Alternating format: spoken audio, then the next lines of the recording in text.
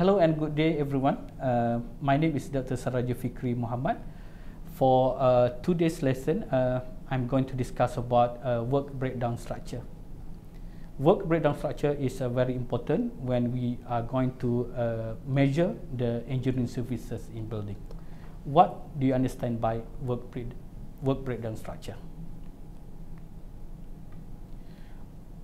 It is a foundation for project planning and also for the project implementation, project execution, and important technique used in project management.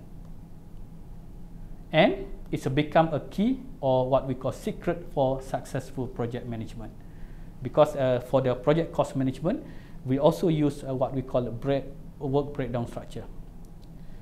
And the main purpose of the itemized or systematic uh, measurement or systematic cost management is we are going to turn large and complex and unique, uh, perhaps a misfiring uh, piece of work such as construction into small and manageable tasks, which is we uh, do it by uh, list of the activities, list of the item. is related to project facing and uh, we try to get the final output of that particular project. Okay, this is the basic introdu introduction to the work breakdown structure. And what is the WBS? In what we call, in other words, we call task list or activity list. In project cost management, we call this item list or task list as an item. Item for the mechanical and electrical engineering services.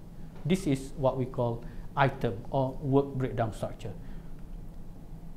This is an example of the what we call a small landscape project. Okay, small landscape project, we need to have main item. How to complete it? How, how to the construct landscape in our house? First, we need to design, which is item 1.0, design home landscape. Second, we put in lawn. We need to make sure that we put the lawn in our garden and etc. This is the second uh, what we call activity or second item. Third is we build the fence uh, along the perimeters of our building. This is the third activity. And we have sub activity which is 2.1, 2.2, 2.3, 2.4. This is what we call sub activity. And another sub activity, another layer which is 2.1, uh, 2.2.1, 2.2.2, 2.2.3 and etc. This is what you call the main item and then list of the sub item. This is uh, how we do the cost management in building. We need to make sure that during the construction process or during the design process and then design process, we have what we call the activities from activity number one to activity number what we call number 10 or number 12 and etc we need to be clear. We need to make sure that uh, we understand the process from uh, from uh, number one until completed of that particular particular what we call item, particular uh, uh, process or particular uh, engineering services installation in in building. Okay. This is very important for design team, for M&E consultant, and also QS consultant to understand every single part of the uh, process. And uh, important also the item here uh, because provide detailed il illustration of the scope or magnitude of the project. We uh, describe the item very precisely and also to provide a magnitude of that particular uh, equipment or particular devices or installation in mechanical and electrical engineering installation. Monitor work progress because each activity uh, or task define measurable unit of work in terms of the time and quantity. Very important because if we relate to the uh, the importance of the measurement, we need to quantify it during the construction stage to do the measurement, to do the uh, interim evaluation, to do the changes or uh, variation order. We can use the BQ. Okay, we can use this what we call the process of systematic uh, measurement here.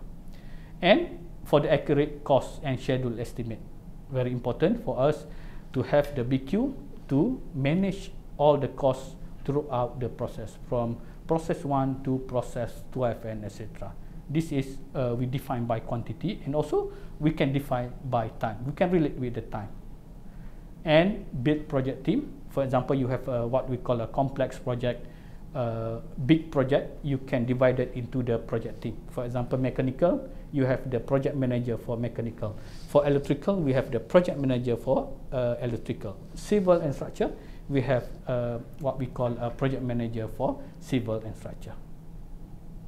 Uh, this is the work breakdown structure in building, what we call common work breakdown structure in building. Number one is substructure. This is uh, uh, for the first item when we construct a building number one is substructure. Number two is superstructure, which contain a building frame, uh, beam, roof beam, external wall, a roof, and etc. And number three is the finishes, which is uh, external wall, internal wall, floor finish, and also the painting works. Number four is uh, furniture and fittings, uh, and number five is very important, which is building services. This is the what we call uh, our main objective for this model, which is we are focusing to the building services or engineering services in building uh, based on our research, based on our study. Uh, nowadays, not five, yeah? not a five is the basic uh, building services work, but uh, based on our observation, based on our study, nowadays it's about 43 engineering services work in building, especially for the intelligent building especially for the smart building. And number six is the external works. Uh, for the next module, we are going to discuss uh, one by one uh, for each uh, engineering services in uh, building and hopefully you can understand uh, the importance of the engineering services measurement in building.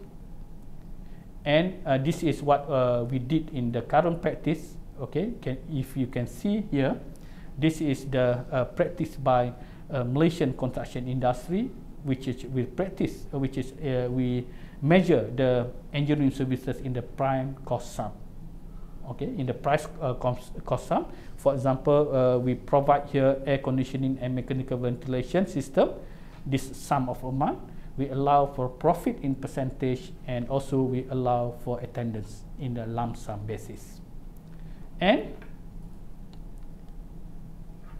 when we receive a drawing from architect or and also from uh, engineering uh, services consultant, for example, uh, mechanical and uh, electrical consultant, we receive uh, what we call a drawing. Actually, we can produce BQ for that particular item because uh, based on the standard method of measurement in section Q and section R, we can produce a bill of quantity if we get a proper drawing from architect and also mechanical and electrical engineering consultant. This is an example of the drawing, which is uh, you can see here. There's a cooling tower here, cooling tower, uh, the water chiller unit, the AHU and ducting system. Actually, in the section Q and section R, we can measure uh, the uh, component, the item in the engineering services in the mechanical engineering uh, equipment in building.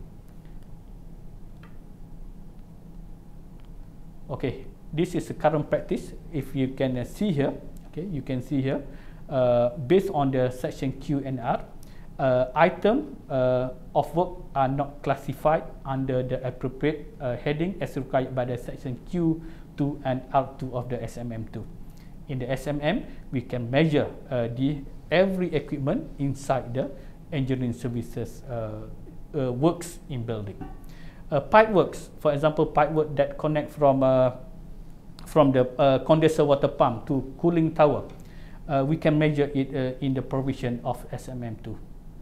And uh, we not uh, in term of the risk, uh, we need uh, we need to make sure that M&E services BQ are most uh, professionally in nature. It, it, it is subject to remeasurement. When you install on site, we do again the remeasurement. Okay, we uh, again do the remeasurement uh, and uh, for the current situation, now contractors are often required to allow for works not measured or shown in the tender drawing. But using the SMM, we can itemize every aspect of the uh, processes if if the, that particular processes is not shown in the drawing and M&E services drawing are of, often not completed at the time of preparing BQ for tender purposes. Okay, therefore, by using uh, this module, we learn from this module, we can prepare systematic uh, standard uh, systematic uh, bill of quantity for mechanical and analytical works. And again, in terms of the overall uh, project cost management, uh, based on our our BQ, first the Q, which is the quantity. We have the what we call proper itemized uh, what we call uh, bills and also the quantity that particular item. And we have the rate, which is the rate contained in the BQ or contract document, tender document, and also tender document submitted by the contractor, we can use for the historical database. And the quantity if we have a proper quantity, first will help us in terms of the scope change authorization, especially for the VO, variation of works. And will help us on the final account because all the, uh, the payment, interim valuation, VO, we already have the quantity, which is in the final account, it is important for you to finalize every single uh, aspect of the valuation and also payment to the contractor and after we completed the final account we can use that particular rate the current rate that uh, we already uh, implement in that that project for the M&E services as historical cost database. For the next project for the project in initiation we can use as a basis for the what we call cost budget and etc and uh, thank you for this session. I hope uh, you enjoy this session.